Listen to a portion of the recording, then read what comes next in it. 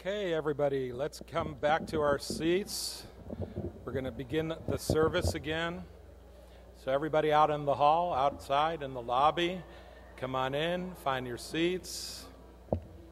Okay. You know, um, I wanted to explain something to some to you know, eh, to everyone here. I'm not sure if, if you're you know all aware or not. Some of you I know are, but uh, on Thursday, one of our, our, our members of our, our, our congregation, uh, Ophelia Armenta, had been shot in her home while there was a robbery taking place. Um, I just wanted to you know, say what's right now going on. She's actually doing okay. She is going to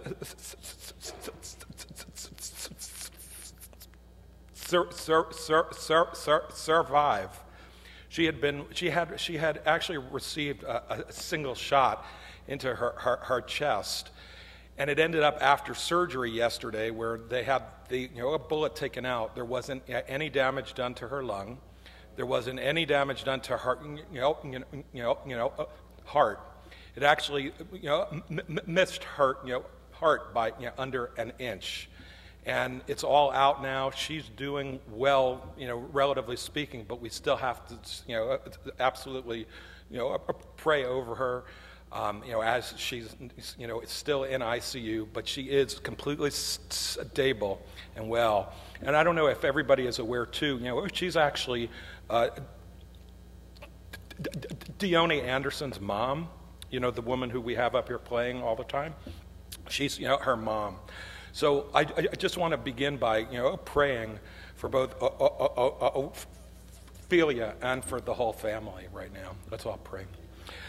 Lord God, Father God, we just give you thanks. Avinu Malkeinu, our God and King, we thank you and we praise you that Ophelia is alive. And we thank you that, Lord, your hand, even though they went through this horrible tragedy, that, Lord, there was nothing serious done, that she will be well, and that you are, are just on her and upon her. I pray, God, for a complete healing, that even right now, where she is laying there in that hospital, I pray, God, that she would sense our prayers, that she would sense your presence in that room. Lord, make her well, heal her, bring her to full restoration. And I also, Lord, just uh, ask for all of the you know, family, for you know, M- M- M- Michael and, and, and Dione, and for everyone else in their family, Lord, that you would just uh, strengthen them in this time. Lord God, just please strengthen their hearts, Lord. Fill them with your presence and peace. Lord, we will just give you all praise and all glory in Yeshua's name. Amen. You know what? Can we just? Ask, I just want to, you know, you know offer God thanks for. Thank you, Lord. Thank you, God. Okay, we'll continue now with the service. Ya'amod Aharon ben Yochanan.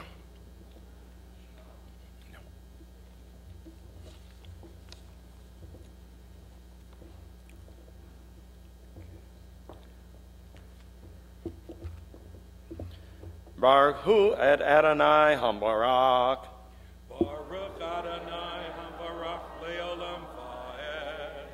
Baruch Adonai Hambarak Leolam Vayed.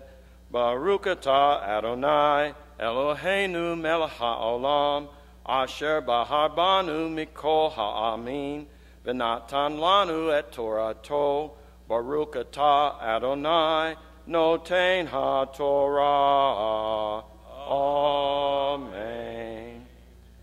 Blessed be the Lord who is to be blessed Blessed be the Lord, who is to be blessed forever and ever. Blessed art thou, O Lord our God, King of the universe, who has chosen us from all people and has given us your Torah. Blessed art thou, O Lord, giver of the Torah. Amen. Our Torah reading this morning comes from Psalm 119. Righteous are you, O Lord and your Lord and your laws are right. The statutes you have laid down are righteous, they are fully trustworthy.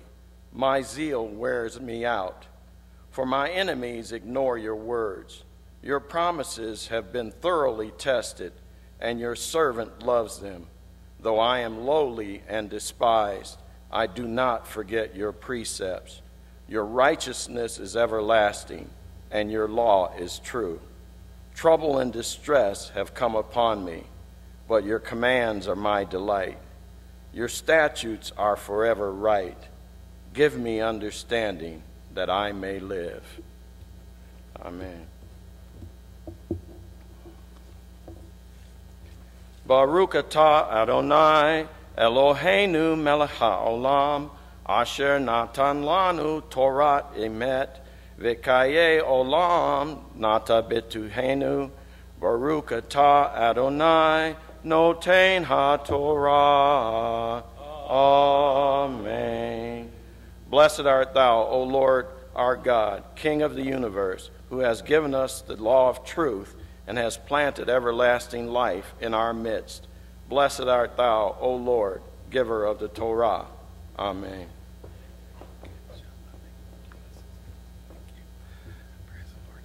Am I, did I turn it on or?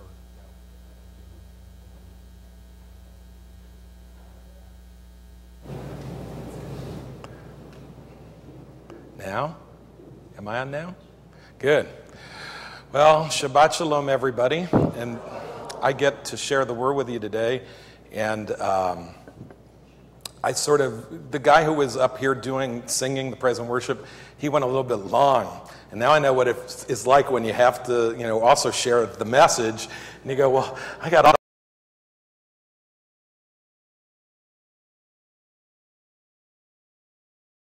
spoken, and I was going to try this time to make it a little bit different, but I don't have any overheads or slides. If you want to follow along, I'm going to be speaking from our, our Bibles. So everybody's going to have the same Bible, so you can follow in there. But my, my, my wife and uh, Dave and everybody who knows me, I don't even have yet a cell phone. I don't tweet and I don't, you know, I don't have cell phones. I don't do overheads. I don't do, it's not, you know what? It's not that I don't, I, I see there's other people there too, but it's not that I don't think it's good or I want to. There's not enough time. I mean, I don't know how you're supposed to fit, you know, all these things and always be looking at these things and, yeah, tweeting people back and forth. So, anyway, um, let me just ask the Lord to be here with us. Lord, we just give you all praise and glory and honor. God, I thank you for the word of God, which is alive, which is true. God, I just pray that you would anoint me to speak, that please, Lord God, you know, help me to stay you know, out of the way and just I'll, I'll allow this word to go forth that everyone hears hears from you this day, I pray. And I'll just give you the praise and glory in, in Yeshua's name. Where I'm going to start from in this, it's going to seem like I'm kind of going around in circles a little bit, but it'll all make sense as we get further on. Um, the title of the message that I'm doing is called the Staff of Moses. The Staff of Moses is what this is called. But before getting to Moses' staff, it's interesting. I've been seeing now a lot, more and more and more. When you know you're on the you know, you know evening news that we watch a lot of times, and you'll see people. They have these you know ads on, and it's for, you know, it's for pharmaceutical medication. And in the pharmaceutical medication ads, you know, they've got somebody and they're playing tennis and smiling in slow motion and running and they've got pain, but they take this pill and all their pain goes away and everything's terrific and their life is wonderful and happy. But then in every single one of these ads, they start to say to you, you know, some side effects could include, you know, upset stomach, nausea, you know, going blind. I've you know, actually heard that, going blind. You know, you have seizures, you get depressed, commit suicide, all while the people are still running in slow motion and having. And so the thing is, I stumbled upon these scripture verses.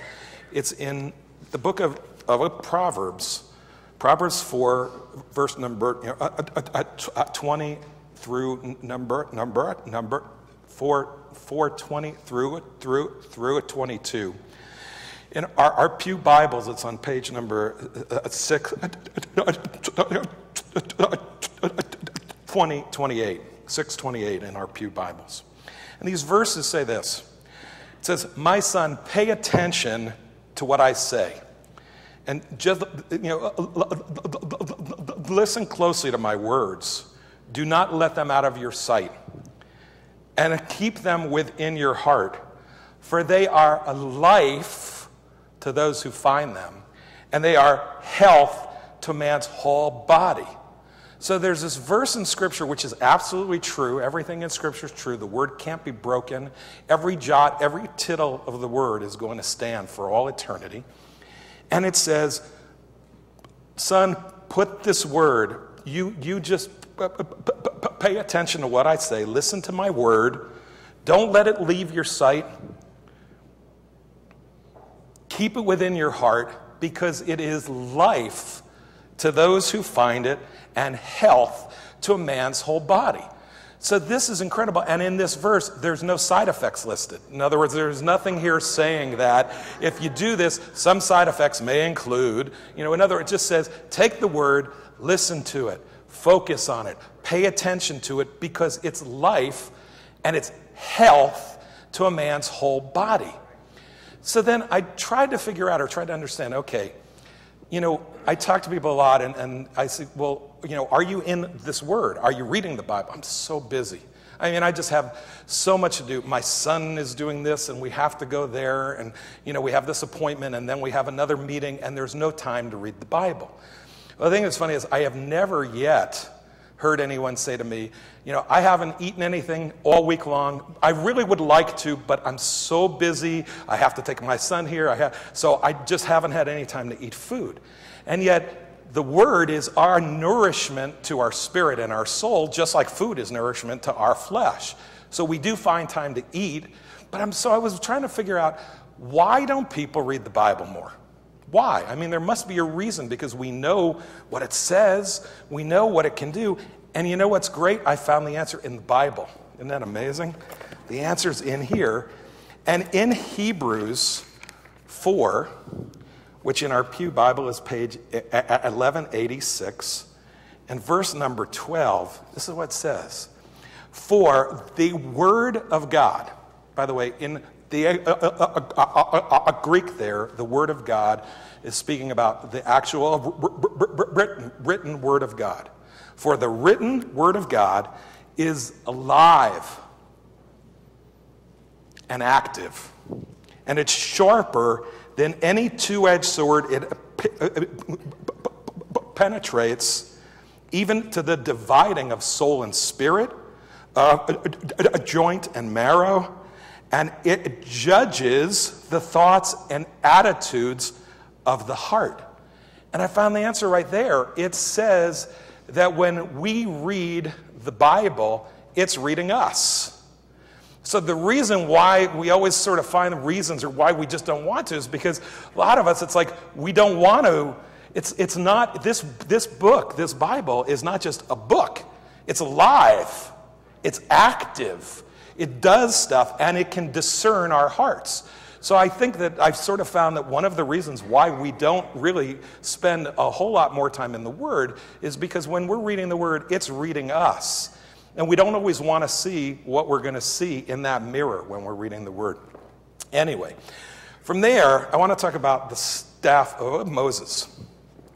This is uh, my staff.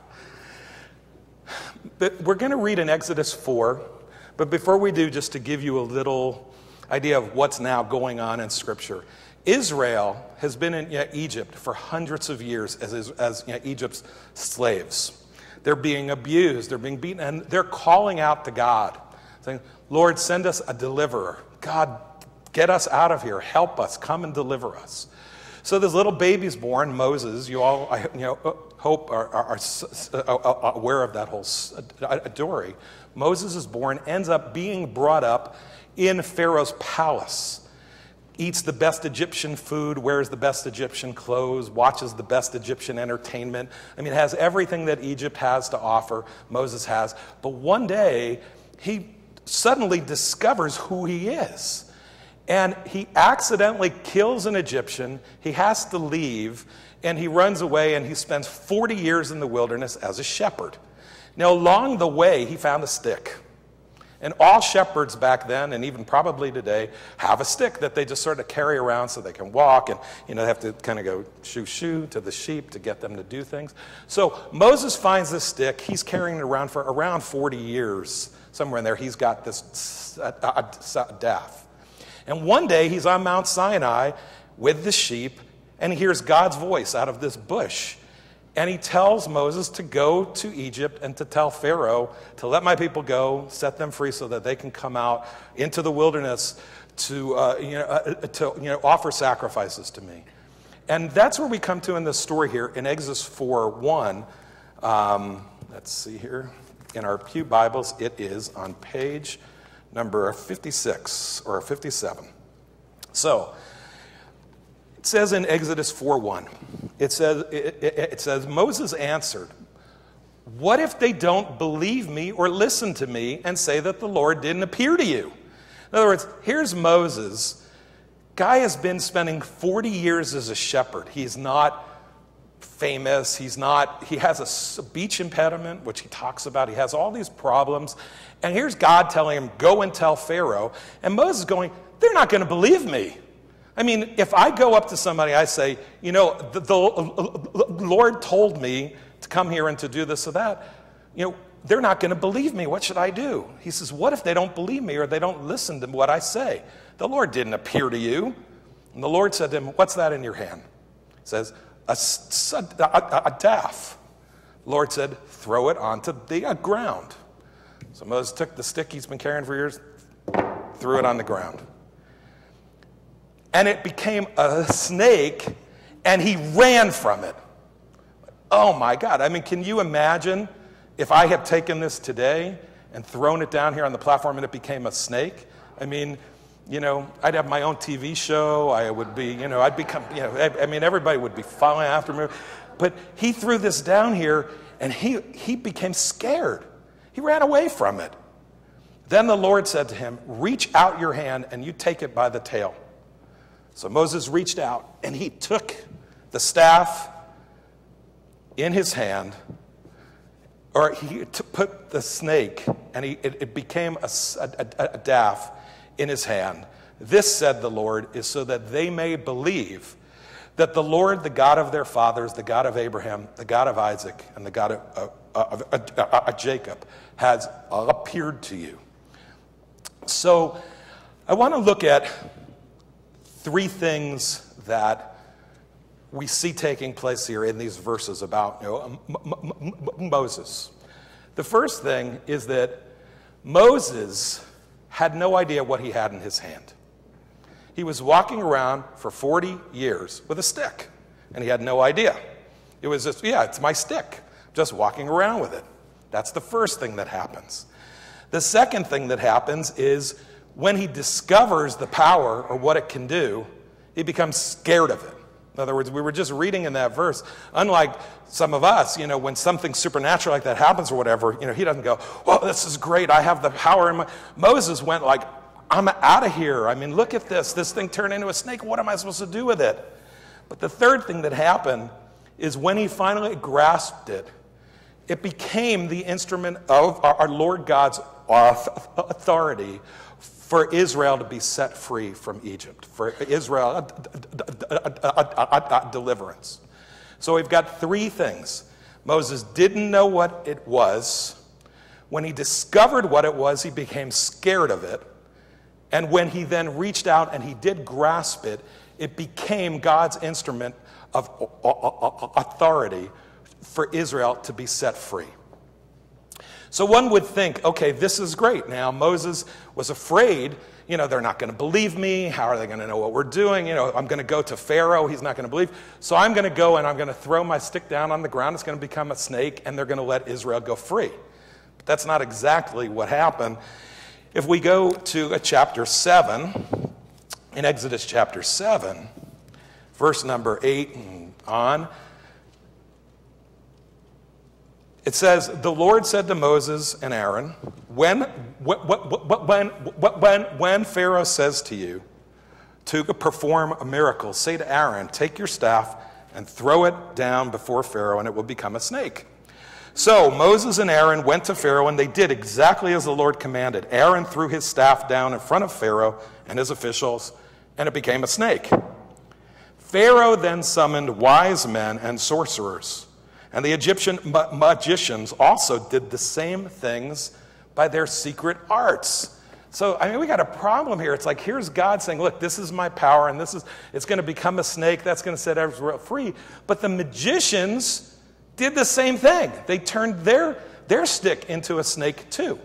So, let's just read on a little bit more. Each one threw down his staff, and it became a snake, but Aaron's staff swallowed up their staffs.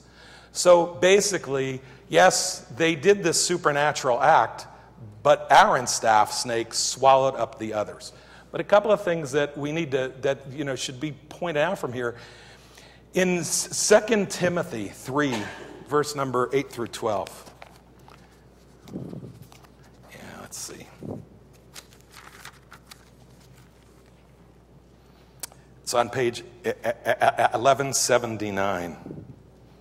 I'm sorry, 2 Timothy 3. Uh, 2 Timothy 3, 8, oh, 8 and 9. It says, But uh, uh, just as Jannes and Jambres opposed Moses, so also uh, uh, uh, these men oppose the truth.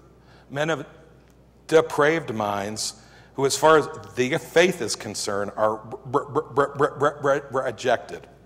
So, but they will not get very far because, as is the case of those men, their folly will be clear to everyone.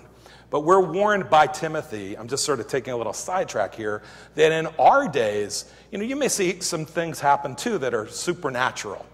And there, it, first of all, everything supernatural is not of God. Just because something happens that's supernatural, it's not necessarily of God.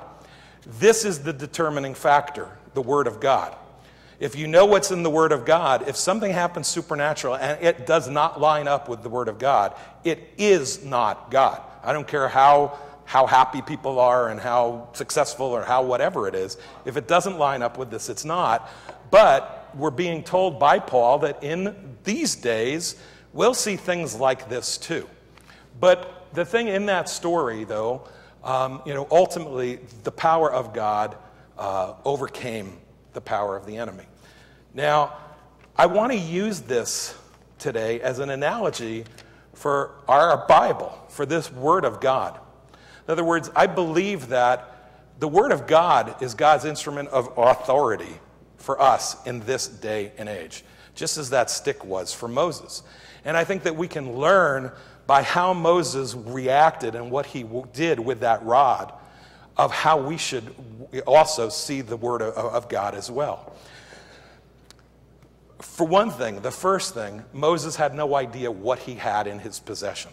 For a lot of people, people who are here and many people who are out online, you've had this Bible for years and years and years. It sits on the shelf right next to, you know, a, another book by, you know, someone else, and next to the thing, or it sits on a, a, a coffee table. And yes, it's the Word of God, and yes, we read it when we have an occasion and we have time, but we have no idea what we've got in our hands. We have no idea what it is. So that's the first thing, like with Moses. When he found out, when he threw this thing on the ground and saw what it was, Moses didn't act in you know, arrogance and in pride. He was afraid. And I believe that when we come to understand, and I hope that we do, the instrument of God's authority for us today that we not just look at it with arrogance and pride, but that we look at it in fear and in humility. In Isaiah, I'm going to put this down. In Isaiah 66, verse number 2, Yeshayahu, Isaiah is speaking, or our, our, Lord is speaking through Isaiah, through Yeshayahu. Says, it says, you know, the Lord says, you know, has not my hand made all these things, and so they came into being, declares the Lord. This one I esteem. He who is humble and contrite in spirit, and who trembles at my word. So, right here in the Bible, God is telling us, you know, sometimes we go, why isn't God answering the prayer? Or why is God, what, what, why isn't God listening? Well, He's always listening. He's always listening. But it says, This is the one that I will esteem. This is the one I will really pay attention to. He who is humble and contrite in spirit and who trembles at my word. That's the person who I'm going to pray. That's the person who, when they pray, I will listen and hear. Not a person who knows everything, not a person who has every answer, a person who's sorry for his sin, sorry for his mistake, is contrite of heart. And it doesn't, doesn't think more of himself, but approaches the word of God in fear and in trembling. We need to respond to God's word in that way. I'm going to give you four reasons why we should tremble at God's word. I'm just going to go through them pretty quickly and briefly. But first, in Psalm 33, verse number 6 and verse number 9, it's on page 549, it says, By the word of the Lord were the, the heavens made, there's a, a, a host by the breath of his mouth. So the word of God made the heavens, the stars by the breath of his mouth, by the words that came out of his mouth. And in verse number nine, it says, For he spoke, and it came to be. He commanded, and it stood firm. So God's word is his creative power. This Bible, the word of God that we have, is God's creative power. By his word, everything came to be. Second thing is the Word of God sustains the whole, the whole, the whole, everything. It sustains the world. It sustains the whole universe. In the book of Hebrews, Hebrews 1 3, it says, The Son, speaking of Yeshua, the Son is the, is the, the, the, the radiance of God's glory and the exact representation of His being sustaining all things by his powerful word. Everything in the universe is sustained by the word, by God's word. We can talk some other time, not today, but Yeshua in the beginning was the word, and the word was God, and the word, the word became flesh, and the word is God. It's totally synonymous. They're the same, they're one and the same the Word of God, the third reason why we should fear and tremble is like that one verse that I had quoted before. The Word of God can discern the thoughts and intentions of our heart. It's living and active and sharper than any two edged sword, piercing as to the division of soul and spirit, of joint and marrow, and able to discern the thoughts and intentions of our heart. So the Word of God can discern our heart. And the fourth thing is that the Word of God is the, standard by which we will be judged someday. In the book of uh, John 12, verse number 47 and 48, it's on page 1066. It says, As for the person who hears my words but doesn't keep them, I do not judge him. For I didn't come to judge the world, but to save it. There is a judge for the one who re- re- re- rejects me and doesn't accept my words. That very word which I spoke will condemn him on the last day. The word of God is our judge. So, the second thing that Moses did was he grasped, once he got over his fear, or once he approached it, with the awe and the fear that it deserved. When he grasped this, it became the instrument of the Lord's authority to deliver Israel from Egypt. Now we've got to look at the story and understand there was nothing magical or powerful about a stick. Yet, in the story that we read in the book of Exodus, everything that happens without the stick, without the staff, nothing happened. That was the instrument of God's authority. God said, throw down the staff, it'll become a snake. It did. Moses took the staff, put it into a, river. The river became blood. Moses, when, when, when, you know, is, when you know, Israel was you know, on their way out of Egypt, they stood by the banks of the Red Sea. Here's the army is behind them, the sea is in front of them. What are we going to do? Moses lifts up the staff, and the Red Sea parts. They're out in the wilderness. They come to this awful, you know, bitter pool, which I think I talked about one time a while ago, the bitter pool of you know, Marah. Moses takes the staff and puts the staff in the water. The water becomes sweet, it becomes healed. Israel has no water. Moses takes the staff, he touches a rock. Now, we know God did these miracles, it wasn't the magic staff. God didn't give Moses a magic staff, but he imbued that staff with his authority. And when Moses took the staff and wielded it, that was what would happen. When they were fighting against uh, one of their you know, enemies, the, they would be out there on the battlefield. Moses would stand there Hold up the staff. Israel would be winning. His arms would grow tired. Israel would start losing. Hold up the staff. Israel's winning. Arms grow tired. Israel, go, go. Aaron and Hur, hold his arm up. Hold up his arms. Keep that staff up in the air. So the reason why I'm saying that is that once he understood and he approached it in the right heart, that became the instrument of God's authority for the deliverance of Israel out of Egypt. They were not liberated by an army. Israel wasn't liberated by an army, they were liberated by a staff that was carried by two people Aaron and you know, Moses at, at various times.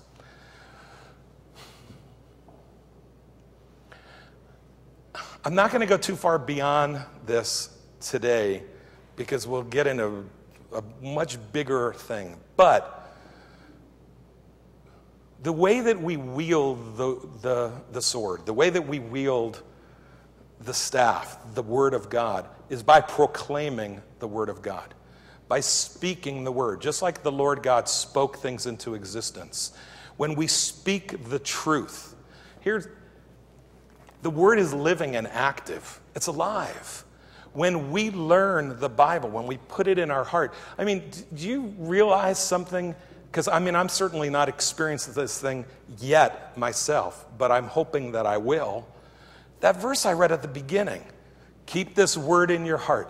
Never let it depart from your eyes. Keep it in your ears. Listen to it at all times. It will be life and health to your whole uh, body. Now, the thing that's interesting, I don't know the exact what you do on this prescription, but what happens is that what happens if we go to the doctor and we go, you know, don't feel well. I have this problem. Here, let me write you a prescription. Just be careful. Some side effects may include, you know, but here's this prescription. And they say, I want you to take this three times a day. Take it in, you know, in the middle of the day, in the morning, in the middle of the day, whatever. Well, if we get the pills and we don't take it three times a day, they're not going to work. You aren't going to get better. Well, God gave us a prescription. He says, Never let this word depart from your sight. Keep it in your heart, keep it in your ears. It will be life to those who find it and health to a man's whole body. I believe the word of God. That's true. God's word can't be broken, but we have to do it. Now,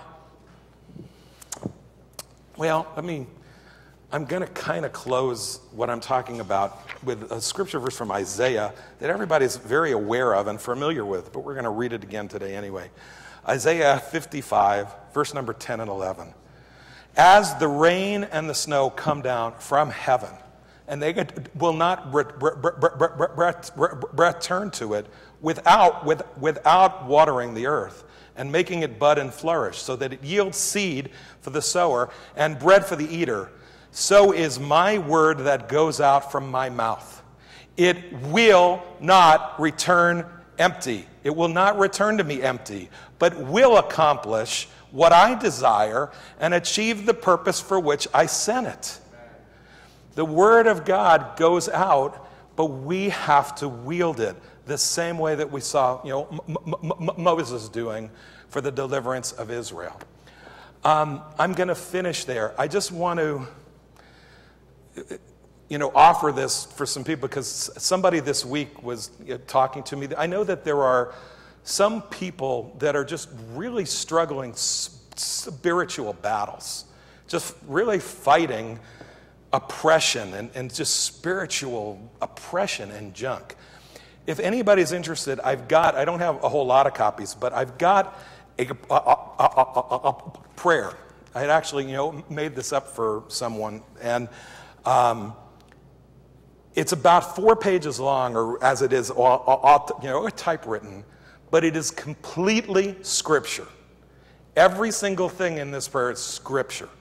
And if you pray this prayer every single day, I believe, and I've seen it in my own life at various times, it will have tremendous impact because it is the Word of God and it's your proclaiming and speaking the truth of the Word. So if there's anybody who's interested in one of these, if you know you have a need for it or whatever, I don't have a lot of copies, but I've got some, and you know you're certainly you know oh, welcome to them. Um, if you know somebody else wants one and we're out, I, I can make some more later. But anyway, I'm going to conclude there. Um, we have in our in our hands God's instrument of authority for this day and for this age and for our time.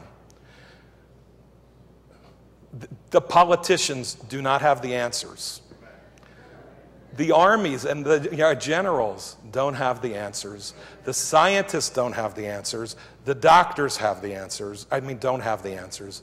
We are the ones who have the answer, but we have to now exercise it. And I really believe that the Lord is just calling out to his body it's time. It's time for Israel. It's time for many things, but you need to take what I've given you that you've had all these years and never understood. And you need to start to use this the way it was meant to be used. Now let's pray. And then actually, can the band, yeah, both Deanna and Bernie, pray. You know what? Before we do, I just I'm so blessed by having Bernie and Deanna. And uh, can we just thank them? I'm really blessed by having them play, and everybody else who's also playing. It's things are just wonderful in our worship team. Father, we just give you praise, glory, honor. We thank you for the word. Lord, I just pray that this message would sink into hearts. I pray, God, that, that people would hear what was spoken today and that you would guide us, Lord God. We can't do it without you. We need you to show us and to guide us. But we thank you, God, for this day that you have given us, for this place that you have set us in, for this time. And I just pray, Lord God, that your anointing would be upon all here, that we would go forth, that we would, Lord God, be your people with your word, and that we would see this earth and many come to faith, Lord God. Many come to know you and be saved. And we'll just give you all praise and all glory in Yeshua's name. Amen. Would you stand? We're going to do a final song, and, and thank you. Praise God.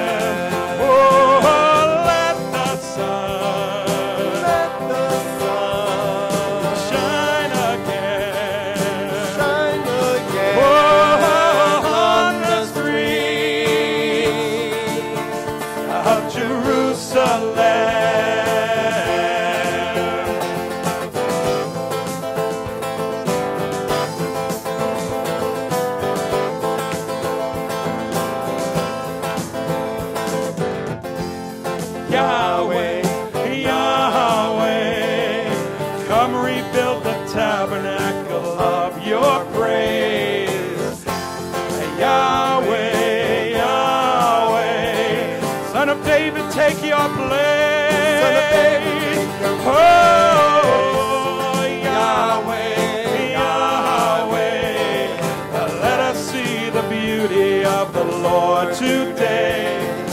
Yahweh,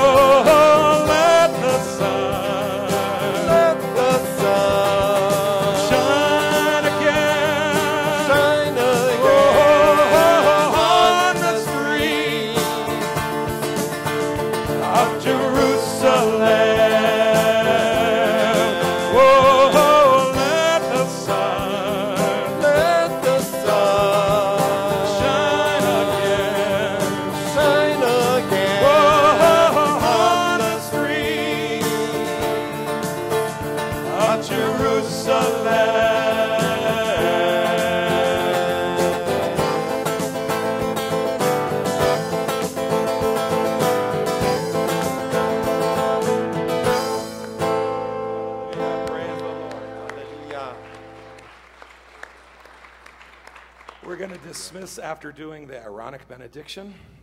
Please remain standing. Yevorechecha Adonai v'yishmerecha. Yo'er Adonai panav elecha v'yechunecha. Yisa panav elecha v'yosem lecha shalom. May the Lord bless you and keep you. May the Lord make his face shine upon you and be gracious to you. May the Lord lift up his countenance upon you and br- br- br- bring you peace, bring you shalom, now and evermore. Beshem Yeshua HaMashiach, Ha'or Le'olam. In the name of our Lord and our Savior, Yeshua, the Messiah, the light of the world. Amen. Go and be blessed. Have a wonderful week. See you on Wednesday night, maybe, or on Sunday, on Shabbat, next Shabbat. God of Abraham, God of Isaac, God of Jacob, Elohim, Adonai, God who answers by fire. Glorify your Son, Jesus Christ, the true Messiah.